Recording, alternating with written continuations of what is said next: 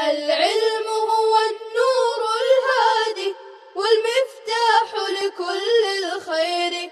من يرد الله به خيرا.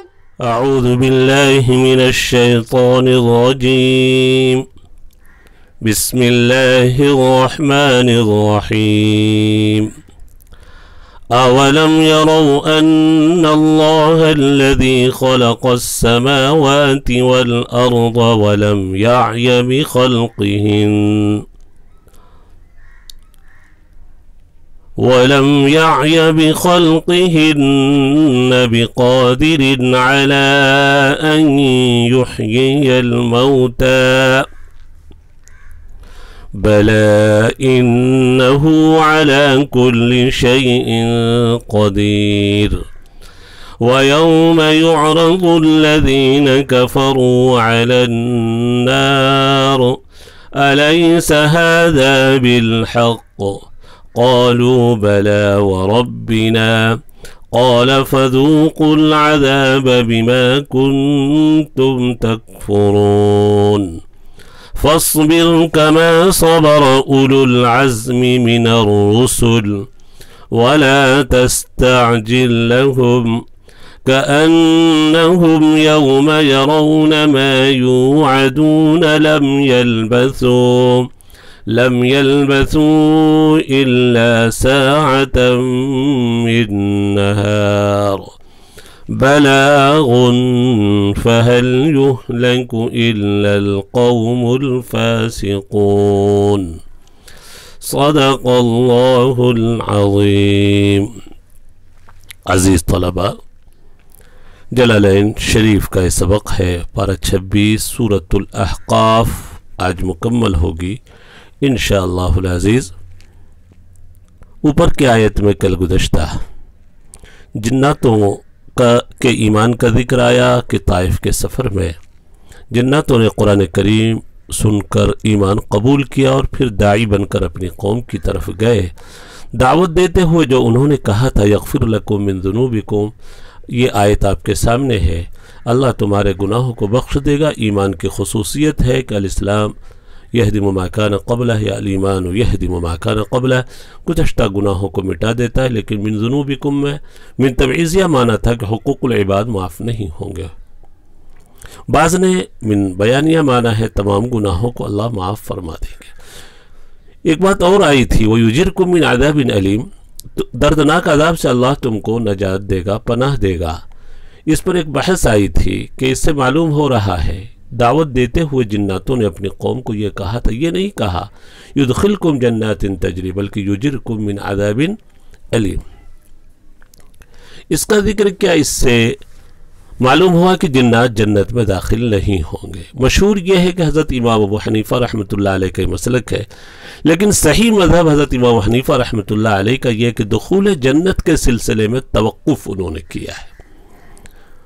ایسا نہیں کہ جنت میں داخل نہیں ہوں گے، بلکہ کوئی قطعی بات ثابت نہیں ہے دخول جنت کے بارے میں۔ اس لیے امام صاحب کی رائے یہ ہے، توقف۔ یجرکم من عذاب علیم توقف ہے امام صاحب کی رائے۔ اللہ تعالیٰ نے صرف عذاب علیم سے بچانے کا ذکر کیا، چونکہ عذاب سے بچ جانا بھی ایک انعام ہے۔ نجات مل جانا بھی ایک انعام ہے۔ باقی دخول جنت کے سلسلے میں جناتوں کے اس کے بارے میں کوئی دلیل نہیں ملی امام صاحب نے اس بارے میں توقف اختیار کیا ہے۔ بعض حضرات دخول جنت کے بھی قائل ہے جناتوں کے لیے بھی۔ یہ کل کی ایک بات رہ گئی تھی جس کو دہرایا آج کا سبق دیکھیں اولم یرو ان اے منکر البعث، یرو یہ علمو کے معنی میں ہے یعنی رویت بصری مراد نہیں بلکہ رویت قلبی، جس کا نام علم ہے، وہ مراد ہے۔ منکر البعث۔ مراد منکر بات ہے، خل، الفاظ دیکھیں، خلقہ پیچھے گزر چکا ہے۔ پیدا کرنا ذاتی قدرت سے کسی چیز کو عدم سے وجود میں لانا، اس لیے غیر اللہ پر اس کا اطلاق جائز نہیں، کسی کو ذاتی قدرت حاصل نہیں۔ لم یا نفی جہد بلم ہے۔ آئیے یا یا باب سمیع سے آتا ہے، جس کے اصل معنی تو ہے نطق سے اور تکلم سے عاجز ہونا۔ مراد یہاں پر تھک جانا اور عاجز ہونا مراد ہے۔ بقادر ان کے اندر باضائدہ ہے، قادر اسم فائل ہے۔ جی۔ لأن الكلام أليس الله أليس أليس الله بقادر على أن يحيي الموتى يحيي ما بإفعال سے اسم فائل ہے۔ موتى ميت کی جمع ہے۔ إنه على كل شيء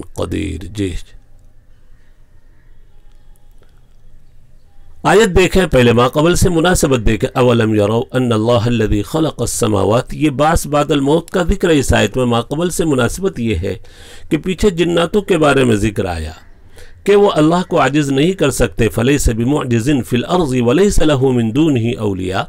زمین میں ہرا کر اللہ عذاب دینا چاہے تو بھاگ نہیں سکتے۔ خواہ وہ عذاب دنیا ہو یا عذاب آخرت ہو، کوئی اللہ سے بھاگ نہیں سکتا۔ تو چونکہ اس کے ضمن میں عذاب سمجھ میں آیا، عذاب کا ہونا باس بعد الموت، دوبارہ زندہ کیے جانے کے بعد ہے۔ اس لیے اب باس کا تذکرہ ہے۔ یا عذاب اور ثواب کا ہونا۔ یا اوپر کی آیت ہے، وَيُجِرْكُم مِّنْ عَذَابٍ علیم تم کو دردناک عذاب سے بچائے گا۔ تو عذاب علیم کا جو ہونا ہے، وہ باس بعد الموت کے بعد مر، دو، مرنے کے بعد دوبارہ زندہ ہونے کے بعد اس مناسبت سے بعض کا تذکرہ اس آیت میں ہے۔ اب ترجمہ دیکھیں، کیا انہوں نے، یہ تو مناسبت اور ربط ہے ما قبل سے، کیا انہوں نے جانا نہیں؟ یعنی منکر نباس کہ بے شک وہ اللہ جس نے آسمان و زمین کو پیدا کیا، ولم یا یہ بخلق اور آسمان و زمین کے پیدا کرنے میں تھکا نہیں۔ یقیناً وہ قادر ہے اس بات پر کہ وہ مردوں کو زندہ کر دے۔ بقادر على ان يحيي الموتى علیہ بقادر؟ کیا وہ قادر نہیں؟ اس بات پر کہ مردوں کو زندہ کرے۔ یقیناً وہ ہر چیز پر خوب خوب قدرت رکھنے والا ہے۔ بیچ کے الفاظ دیکھیں۔ لم یرو یعلمو، بتا دیا منکر باس مراد ہے۔ لم یا بخلقہن، کی تشریح کی ہے۔ لم یعجز عنہ یعنی اس سے عاجز نہیں ہوا۔ وہ بقادرین یہ جو ان ہے، ان کی خبر ہے، اللہ الذي خلق السماوات، ان کا اسم ہے، بقادرین یہ خبر ہے۔ بقادرین پر جو با ہے، وہ با زائدہ ہے۔ کلام میں قوت پیدا کرنے کے لیے با زائدہ کا استعمال ہوا۔ زیدت الباء فی، باقی زیادتی ہوئی، لأن الکلام فی قوت، کلام میں قوت پیدا ہو جائے۔ ہاں تو حرف زائد جتنے ہوتے ہیں، وہ زائد زوائد محضہ نہیں ہوتے، خالص زائد نہیں ہوتے، بلکہ زائد کے پیچھے کچھ نہ کچھ فائدہ ہوتا ہے، جیسے یہیں پر کلام میں تاکید اور تقویت مقصود ہے۔ علیہ صلی اللہ بقادر کیا وہ اس بات پر قادر نہیں کہ مردوں کو زندہ کرے؟ اے بلا، ہوا قادر، بلا، یہ حرف ایجاب۔ وہ قادر ہے اس بات پر، منفی کے بعد آتا ہے اور اس منفی کو مثبت کر دیتا ہے۔ اسی لیے بلا ہوا قادر علی احیاء الموت سے تشریح کی ہے، منفی کو مثبت کر دیا۔ بل کیوں نہیں؟ وہ قادر ہے مردوں کو زندہ کرنے پر، خوب خوب قادر ہے وہ۔ اللہ تبارک و تعالی جو آسمان و زمین کو پیدا کرنے پر قادر ہے، یقیناً مردوں کو بھی دوبارہ زندہ کرنے پر قادر ہے۔ یہ تو آیت کا مفہوم ہے، آیت کا خلاصہ ہے۔ ولم یا بخلق جو بیچ میں یہ جملہ آیا ہے، ان کے پیدا کرنے سے تھکا نہیں۔ اس سے رد ہے، یہودیوں پر جو یہ کہا کرتے تھے کہ اللہ تبارک و تعالی نے ہفتے کے سات دنوں میں، چھ دنوں میں آسمان و زمین کو پیدا کیا اور تھک گیا تو اس نے سنیچر کے دن آرام کیا۔ سنیچر کے دن آرام کیا، یہ یہودیوں کا برا عقیدہ ایک چلا آ رہا تھا۔ اللہ تبارک و تعالی نے اس کی تردید فرمائی، ولم یا بخلق اسی طریقے سے ایک اور آیت تھی مسنا من لغوب، ہم کو کوئی تھکن لاحق نہیں ہوئی۔ اس طرح کی آیتیں یہودیوں کے عقیدے کی تردید ہے۔ ولم یا بخلق جی آگے کیا آیت دیکھیں۔ وَيَوْمَ يُعْرَضُ الَّذِينَ كَفَرُوا عَلَى النَّارِ۔ أليس هذا بالحق؟ جی ويوم يعرض الذين كفروا على النار، يعرض مضارع مجهول ہے، پیش کیا جانا۔ عرض يعرض، پیش کرنا۔ عرض اس کا مادہ ہے، عرض کے معنی تو اصل ہے خلاف الطول۔ لمبائی کی جو زد ہے، جس کو ہم اردو میں چوڑائی بولتے ہیں، وہ ہے عرض۔ ایک لفظ اور عرض ہے، عرض کے معنی جانب اور گوشے کے ہیں۔ اسی مادے سے یہ آرزہ بن، افعال میں لیا جائے جاتا آرزہ یا آرزہ یا عروضو یعنی اپنے جانب کو ظاہر کرنا۔ اپنے جانب کو ظاہر کرنا۔ تو جانب کے ظہور میں پیش کرنا بھی ہوتا ہے، جب کسی کے گوشے کو ظاہر کیا جائے گا۔ اسی مادے سے باب افعال میں آرزہ ہے۔ اظہر جانبہ۔ ہو اپنے جانب کو ظاہر کیا، جس میں اعراض سمجھ میں آتا ہے یعنی پھر کر چلا گیا۔ اسی مادے سے اعتراضہ ہے، رکاوٹ کا آنا، اعتراض کرنا۔ جب آدمی کا جانب اور گوشہ ظاہر ہو جائے، تو بعض مرتبہ اس جانب کے اظہار سے رکاوٹ بھی پیدا ہو جاتی ہے۔ اعتراضہ اعراضہ اعتراضہ عرض یا عرضو تو اس کا مادہ ارزو نے ارز کے معنی ہے جانب اور گوشہ کے۔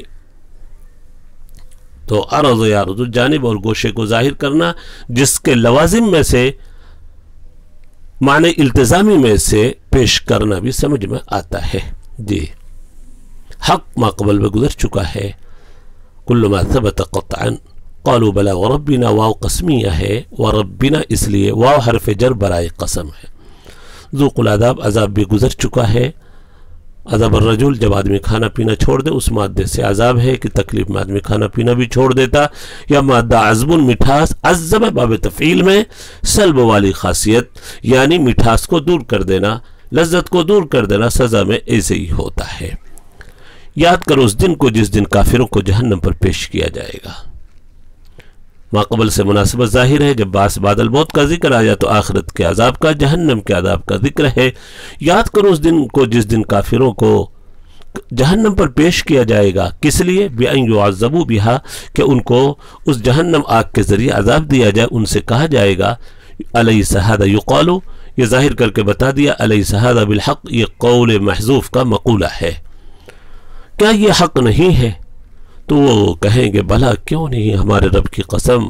اللہ فرمائیں گے، عذاب کا مزہ چکو تم اپنے کفر کے سبب، یا اس سبب سے کہ تم کفر کیا کرتے تھے۔ آیت کا مطلب آیت کی تفسیر بالکل ظاہر ہے۔ جہنم پر کافروں کو پیش کیا جانا حق ہے، جہنم کو کبھی گھسیٹ کر لایا جائے گا، کبھی کافروں کو جہنم کے سامنے لے جایا جائے گا کہ عذاب کو دیکھیں، عذاب کی کیفیت کو، اور جہنم کی کے اشتعال کو اور بھڑکنے کو وہ دیکھیں۔ علیہ صحادہ بالحق اللہ یہ اس لیے سوال کریں گے کہ قرآن کریم میں آیا ہے کہ وہ دنیا کے عذاب کو یا قرآن کو یا پیغمبر کو جادو کہہ دیا کرتے تھے کہ یہ جادو ہے، تو اللہ تعالیٰ استحزان یہ سوال کریں گا بتاؤ، علیہ صحادہ بالحق یہ حق نہیں ہے؟ انبیاء کی تم تکذیب کرتے تھے، قرآن کریم کی تکذیب کہتے تھے، جادو کر کر ٹال دیتے، کیا یہ بھی جادو ہے کیا؟ أليس هذا بالحق قالوا بلى وربنا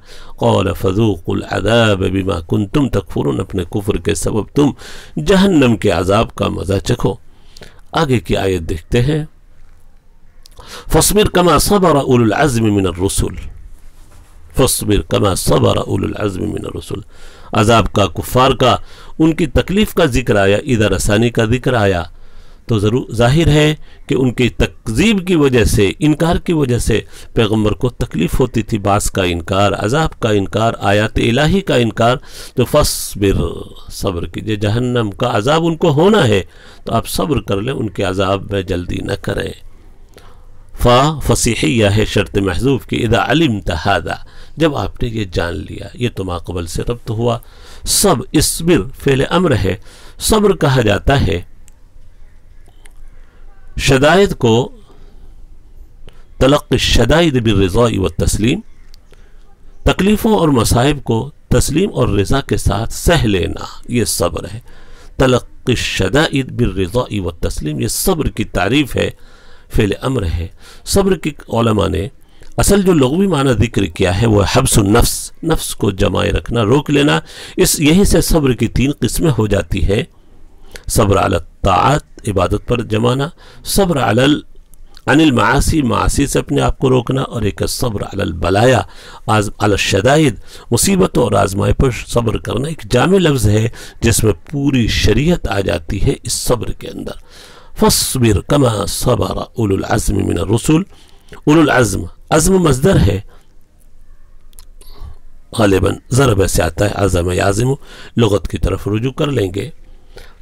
اس کے معنی ہے پختہ، ارادہ کرنا۔ بڑی اچھی تعریف کی ہے۔ امام راغب اصفہانی نے سب عزم کی عقد القلبی علی امضائی امرین۔ کسی کام کے کر گزرنے کا دل میں پختگی پیدا کر لینا عقد القلب علی امضائی الامری یہ عزم ہے۔ اولو العزم۔ فصبر کما صبر، اولو العزم من الرسول۔ آگے کے الفاظ دیکھ لیں۔ ولا تستعلا تستعدل فعل نہیں ہے۔ طيب استفال لا تستعجل لهم كأنهم يوم يرون ما يوعدون. لم يلبثوا إلا ساعة من لم يلبثوا فعل نتيجة حد بلمه باب الزرب ساعته لبث سيلبثوا أقام بالمكان ملازما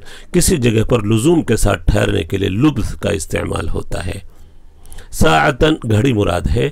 قیامت کو بھی ساعتن کہا جاتا ہے، چونکہ اس کے وقوع کے لیے گھڑی کافی ہے۔ یا یہ کہ وہ دنیا کی آخری گھڑی ہوگی۔ ساعتن من آخری ساعت دنیا قیامت اس لیے ساعتن بلاغ پہنچا دینا باب تفعیل سے ہے۔ نہار کے معنی دن کے ہیں۔ اصل نہر کے معنی پانی بہنے کی جگہ جہاں پانی پھیل جاتا ہے۔ پانی بہتا رہتا ہے۔ ینتشرو فی حلما پانی جہاں پھیلا ہوا ہوتا ہے، اس مناسبت سے نہر ہی سے نہار دن کو بولا جاتا ہے۔ ینتشرو فی ضوء الشمس، جس میں سورج کی روشنی پھیل جاتی ہے۔ ینتشرو فی ضوء الشمس۔ بلاغ، باب تفعیل سے مصدر ہے، پہنچا دینا پیغام۔ بلغ، یبلغ تبلیغا و بلاغا۔ جیسے کلام اور سلام، باب تفعیل کے مصدر ہے فاسقون، فسق و فجور کرنے والے۔ فسق کہا جاتا، الخروج من حجر الشرعی شری جوہر الشرعی شریعت کے سوراخ سے نکل جانا۔ یہ ہے فسق۔ الخروج من الطاع یا الخروج من جوہر الشرع۔ شریعت کے بل سے نکل جانے کا نام چوہا بھی بل سے نکلتا ہے، اس لیے چوہے کو بی فوئی سقہ بولا جاتا ہے۔ اچھا یہ اللہ شریعت کے بل سے تھوڑا نکلنا ہو یا زیادہ دونوں پر اس کا اس کا اطلاق ہوتا ہے، لیکن یہ لفظ زیادہ تر زیادہ نکلنے کے لیے استعمال ہونے لگا، اس لیے فاسق کبیرہ گناہ کے مرتکب کو اصطلاح میں بولا جاتا ہے، لیکن لغت کے اعتبار سے عام ہے۔ جی یہ پیچھے اوپر ترجمہ کرتے فصبر کما صبر العزمی آپ صبر کیجیے اپنے قوم کی عیدہ پر۔ جیسا کہ اولو العزم پیغمبروں نے صبر کیا ہے۔ کما صبر، یہ کاف صبرن مصدر محذوف سے متعلق ہو کر مفعول مطلق بنے گا۔ اصل عبارت اس طرح فصبر صبرن کا صبر اول العزم ما مصدریہ ہے۔ صبر کیجیے، جیسا کہ اولو العزم پیغمبروں نے پختہ ارادے والوں، پیغمبروں نے صبر کیا، اور صبر کیا ہے؟ علی الشدائد من الصبر علی الشدائد، مصیبتوں پر۔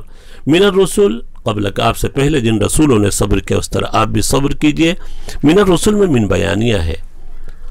فتقون ذا عزم، آپ بھی پختہ ارادے والے ہو جائیں گے۔ من بیان کے لیے یعنی سب کے سب پیغمبر ذو عزم، سب کے سب پیغمبر عزم والے ہی تھے۔ بعض نے من الرسل میں من تبعیزیہ مانا ہے، تو وہ پارہ، بارہ پیغمبر جن کا ذکر جو ہے سورت الانعام میں ہے، وہ اسماعیل ولیسع ویونس ولوطا یہ پوری آیت میں تقریباً اٹھارہ پیغمبروں کا ذکر ہے، وہ سب اولو العزم پیغمبر ہے سورت الانعام کے اندر۔ بعض نے کہا پانچ پیغمبر ہیں، اولو العزم۔ بعض نے بارہ کا تذکرہ کیا ہے۔ جو مشہور پیغمبر ہے، اولو العزم پیغمبر، لیکن صحیح جو اوپر کہا ہے، من بیانیہ مانے تاکہ سارے پیغمبر اولو العزم میں شامل ہو جائیں۔ لیکن جنہوں نے من تویزیہ مانا، ان کی بات بھی صحیح ہے۔ بعض پیغمبروں میں وہ عزم نہیں تھا جو اللہ کے نبی صلی اللہ علیہ وسلم کو عزم ملا۔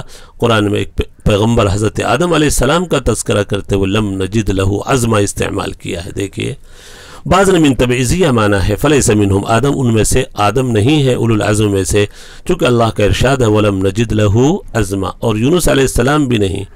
اللہ کا ارشاد ولا تکن کا صاحب الحوت، آپ مچھلی والوں کی طرح نہ ہوئیے۔ وہ پختہ ارادے پر نہ رہے، جلدی تھوڑی بچائی اور چلے گئے قوم کو چھوڑ کر دریا کے سفر میں۔ جس میں مچھلی نے لقمہ بنا لیا تھا۔ ولا تکن کا صاحب الحوت۔ اب مچھلی والے کی طرح نہ ہوئیے حضرت یونس علیہ السلام مراد۔ ولا تستعجل لهم۔ آپ ان کے لیے جلدی نہ مچائے لا تستعجل فعل نہیں ہے۔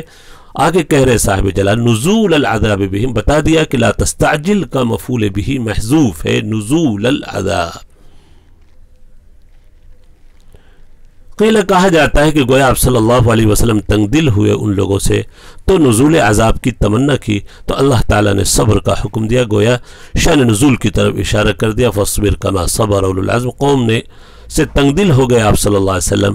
تو دل میں آیا کہ جلدی إن کے اوپر عذاب آ جائے تو اللہ تعالیٰ نے فصبر کما صبر اول العظم أمر بالصبر وترك الاستعجال للعذاب. فإنه نازل به لا محالة. وعذاب تو إن کے اوپر یقیناً آنے ہی والا ہے۔ کانم یوم یرونا اب آگے قیامت کے دن کا ذکر ہے کہ جب قیامت کے عذاب کو وہ دیکھیں گے، جس دن عذاب کو دیکھیں گے، تو ایسا لگے گا کہ دنیا میں بس ایک گھڑی ٹھہر کر آئے۔ لم یلبسو الا ساعتا من نہر کأن حرف مش، مشبہ بالفعل ہے۔ لم یلبسو نہیں ٹھہرے۔ لبس کی تشریح کی تھی، اقام بالمکان ملازمن ملازمن لزوم کے ساتھ کسی جگہ ٹھہرنے کے لیے لب سے استعمال ہوتا ہے سمیہ سے۔ کیسا ان کو لگے گا کہ گویا دنیا میں نہیں ٹھہرے وہ، مگر دن کی ایک گھڑی، ساعت، من نہار۔ ایسا وہ کیوں کہیں گے جبکہ ایک لمبی مدت ٹھہر کے گئے ہوں گے؟ دو وجہ مفسرین نے ذکر کی ہے دنیا کی گھڑیاں، چونکہ عیش و راحت میں گزر گئی ہوں گے عیش و راحت کی گزر گھڑی جلدی گزر جاتی ہے اور اس کے گزرنے کا احساس نہیں ہوتا ہے۔ قبر میں تو بہرحال عذاب ہوگا۔ یا یہ مراد ہے کہ عالم جو نفخ اولا کے بعد، نفخ اولا اور نفخ ثانیہ کے بعد، دونوں کے بیچ جو چالیس سال کی مدت ہے، ان سے عذاب کو اٹھا لیا جاوے گا۔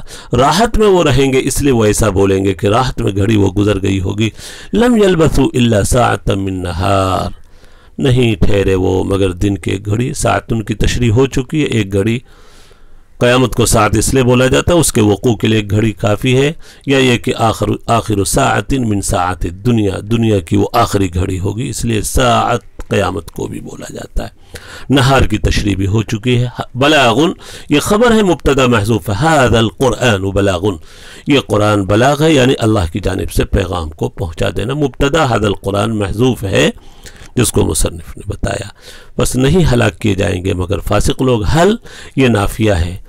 حل کبھی کبھی قد کے معنی میں آتا ہے، کبھی استفہام کے معنی میں آتا ہے، کبھی نفی کا معنی دیتا ہے۔ لا یہلک الا القوم الفاسقون۔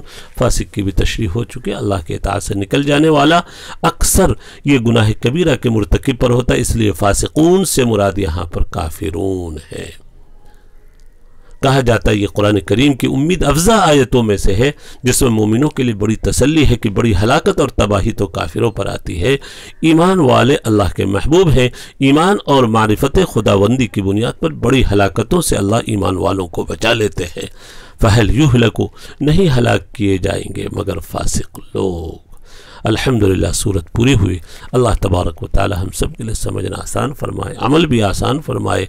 اللهم سبكر درس نصيب فرماي وصلى الله على النبي الكريم وعلى آله وأصحابه أجمعين. السلام عليكم ورحمة الله وبركاته. السلام عليكم. لا تنسوا الإعجاب بالفيديو والاشتراك في القناة تشجيعا لنا لنستمر بنشر المزيد إن شاء الله.